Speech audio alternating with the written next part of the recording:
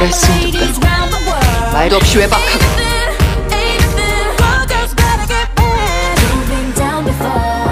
무슨 감히 나를 비웃으니 나 건들지 마. 수화 쓰지 말랬지. 난 이제 더 이상 혼자가 아니야. 여기선 당신이 왕이고 당신의 돈을 받은 당신의 노예들이 당신 뜻대로 움직여주겠지만 밖엔 또 다른 세상이 있어. 거기에 내 말을 들어주고 나를 도와줄 친구들이 있다고.